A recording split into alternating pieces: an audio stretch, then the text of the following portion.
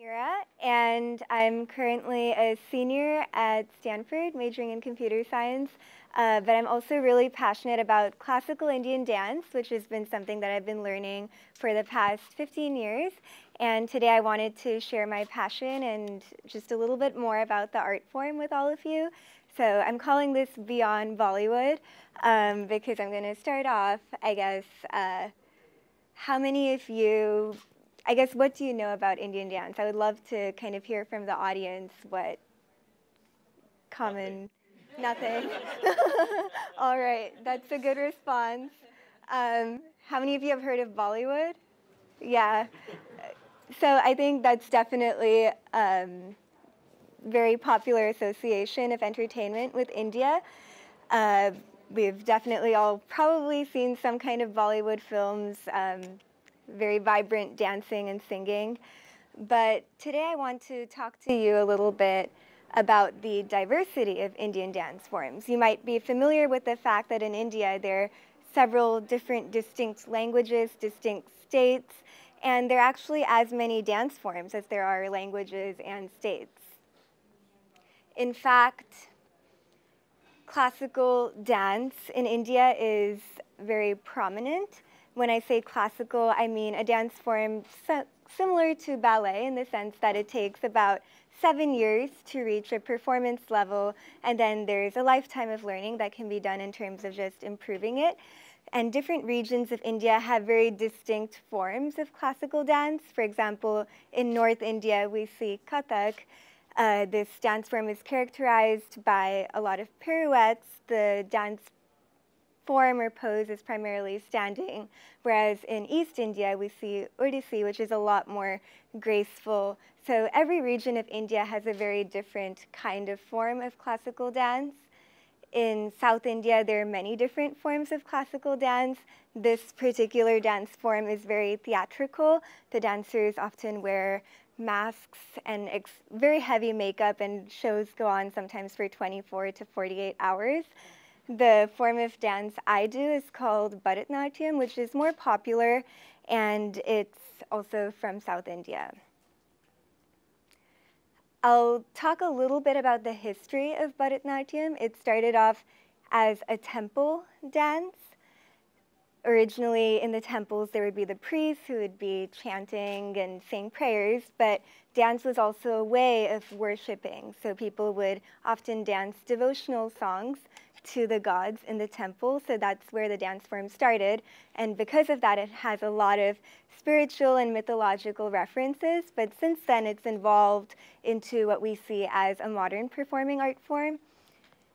And in fact, a lot of dancers have used it to express contemporary themes. For example, there was recently a pretty fun ballet on Don Quixote in which uh, they actually use the grammar of classical Indian dance to express these concepts. So it's become a very versatile art form, and now it's done both in a group setting as well as in a solo setting. And now I'll talk a little bit about the dance form itself. It has two main aspects to it.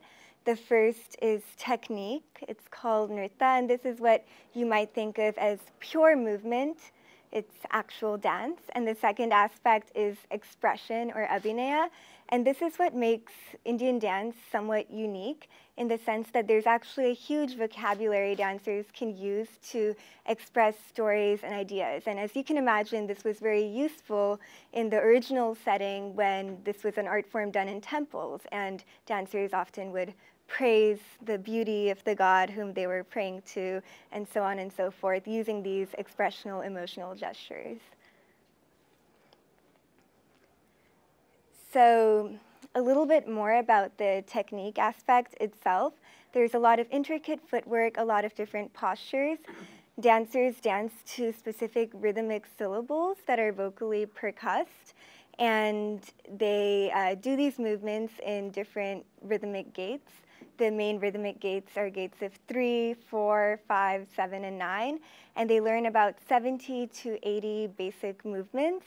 And then later on, these movements are strung into choreographies that they perform. So it takes about three to four years to learn the steps, and then another several years to learn the choreographies themselves. So I'll give a little bit of a demonstration here so that you can better understand what some of these steps look like. Um, yeah, so to start off with, how about all of you, you can clap along with me. I'm going to do a step in a cycle of four.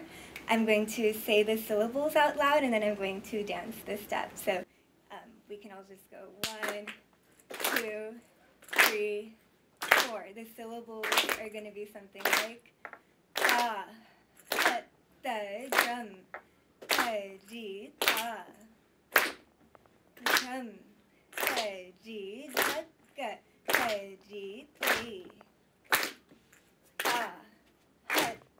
dum, ta, ji, ta, dum, ta, ji, da, ga, ta. Thank you for keeping my rhythm. if I do that in a cycle of three, it would look something like one, two, three.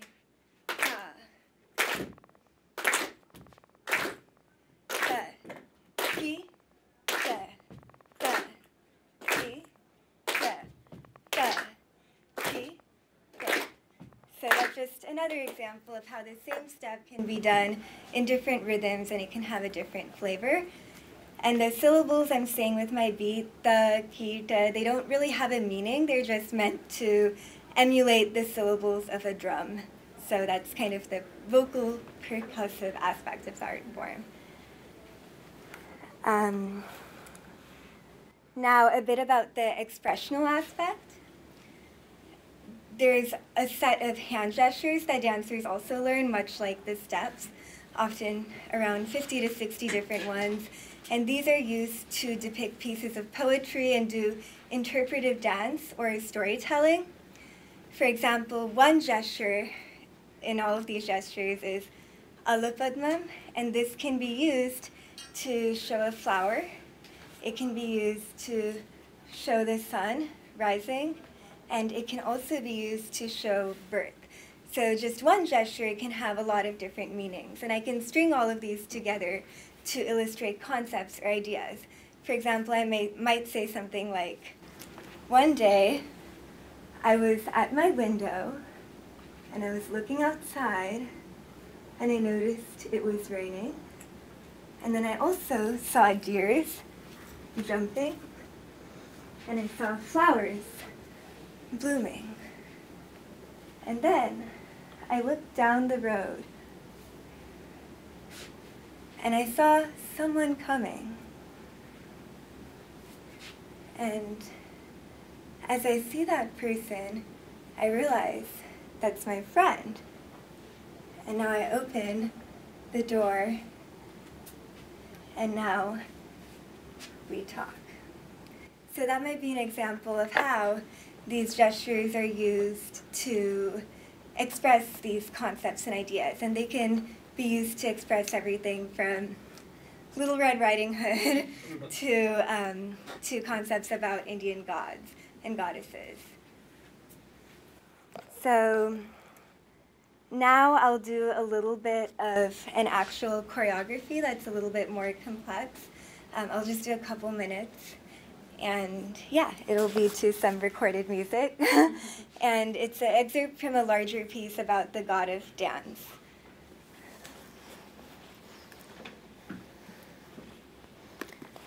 Um,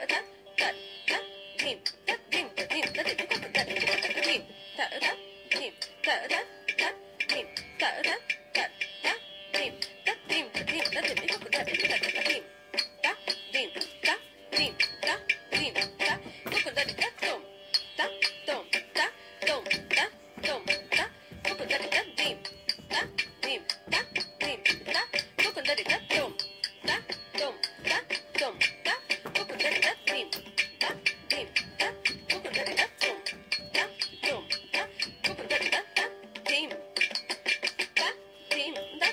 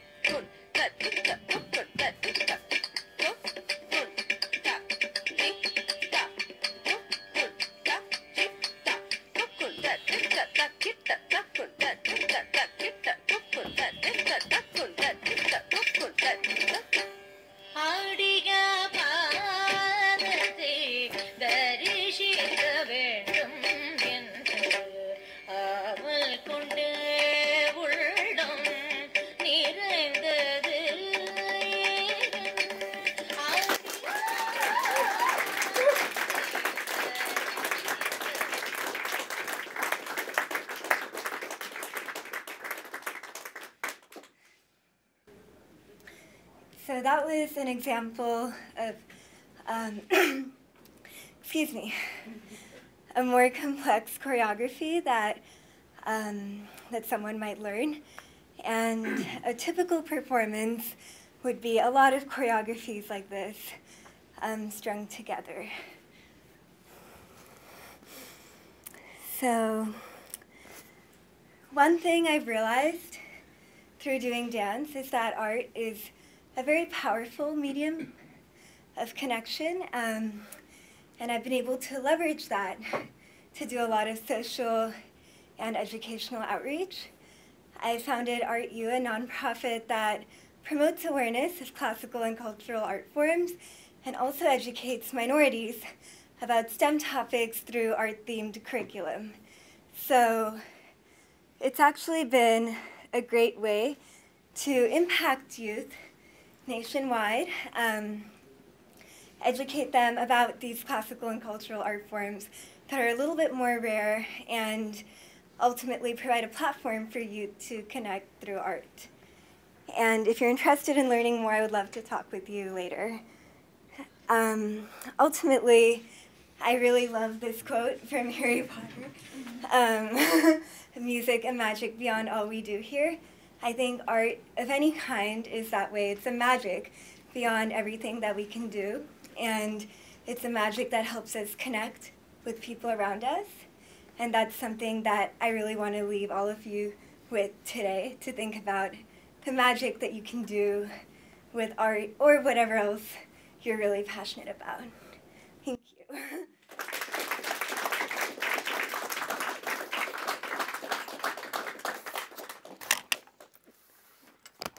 And I don't know if I have time, but I could take a question if there are any questions. Okay, cool. If anyone has a question, I'd be happy to. Oh, yeah. One thing I've noticed about classical Indian dance is the very precise eye movements. I'm curious if there's a whole vocabulary to talk about that as you're learning it. Yeah, yeah, there's actually a set of eye movements that we also learn as part of the training. And um, while we do all of these basic steps, we practice using the eyes correctly as a part of that, and then that just carries over. But yeah. Um, so, I mean, first of all, like, thank you for sharing this. This is amazing. I've done Bharatanatyam for 12 years, and, like, I just love um, people who continue to share with others. And I, um, one, like, debate that we've always had at my school is, like, you know, when you're practicing an art form that is really intricate like this, or, or really like any art form, um, how much, like, innate talent really plays into um, how far you can go with it. And I just want to, like, get your take on that. Yeah, that's a that's definitely like an interesting question. I think I think Bharatanatyam is more forgiving than ballet, for example. It accommodates a lot more body types in a way. I see it. shaking the head. I think, but you know, it definitely does have its. I think the biggest roadblock for Bharatanatyam is just like with any classical art form, wanting to practice it. It's really hard to get through the first few years of it. It's very painful. And I know that I felt like dropping out many times, um, but I had a very patient mom who kind of kept me going through it. Um, but once you start learning the actual pieces, then I think it becomes more interesting. So in that way, I don't think it's like innate talent. I think it's more just trying to stick through with it. But I think when it comes to being a performer, um, there are definitely some prejudices, like having a certain body type is better and so on and so forth. But I don't think that's as much true with this art form as it is with um, as it is with like a lot of other art forms I've seen. So yeah. So um, I only I, I did not make it through through a year of Bharatanatyam myself. um, so this is awesome. Um, but uh, but yeah, I did do many years of ballet and stuff. But Yeah. but so my question is not about the dance. Um, it was about how do you connect this to STEM topics? Can you tell us about how, um, like what kinds of, um, like yeah, what are what are you able to do through this art form in terms of getting people into STEM, or like giving giving intuition about topics that are later difficult or confusing like to what how how much can you get in there Yeah, yeah, yeah, that's a great question. One thing that we actually do is they're very complex rhythms in Bharatanatyam. So just like those cycles I was talking about, but it gets even more complex when you try to figure out if you're composing a rhythmic pattern, it all has to fit into certain measures and certain cycles. So that's a great way to introduce students to math. So that's one basic way that we do it. Um, we also do. We also use a lot of other. Um, the expressive part of Bharatanatyam is very good for teaching people like humanities, for example. Um, I've found myself oftentimes when emoting these poems, it's like interpreting Shakespeare. There's so many ways you can interpret one line, so many interpretations you can have, and that's also a great way of teaching kids about like English too. So um, we use Bharatanatyam to do a little bit of like teaching about math. but we also use a lot of other art forms. For example, kids like building different animals in an ecosystem with clay, and we, we do a lot of like different modules and outreach that way too as well. Yeah. Um, cool. Thank you.